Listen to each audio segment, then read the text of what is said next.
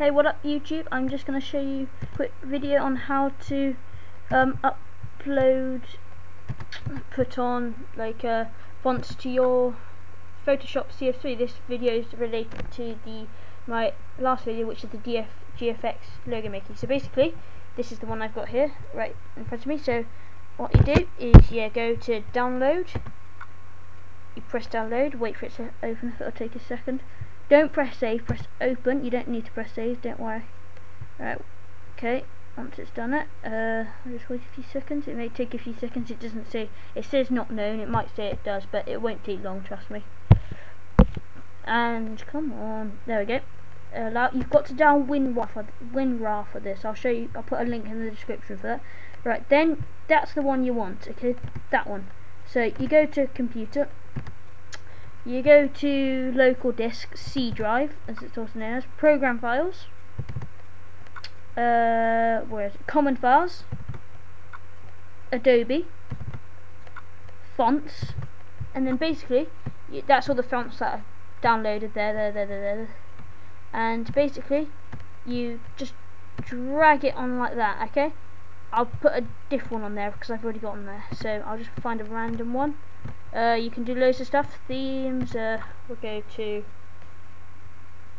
uh, Groovy. I like Groovy.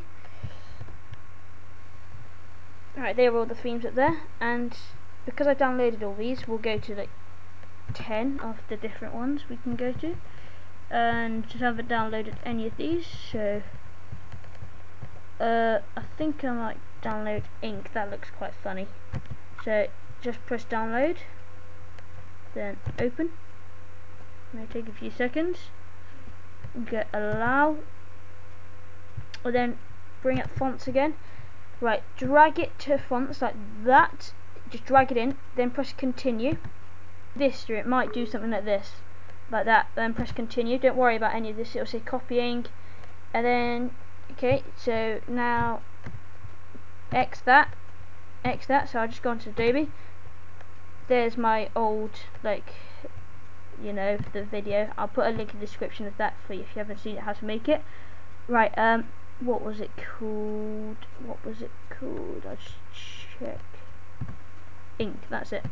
Ink so ink ink. There it is and there we have it and that's how you do it and I've got loads of ones there like this one and this one's quite cool I just put a quick there we go like that it's all that.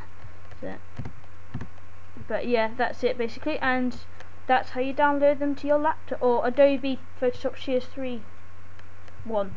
So thank you for watching and I hope I helped. Please rate and subscribe if I helped and comment please. Thank you and goodbye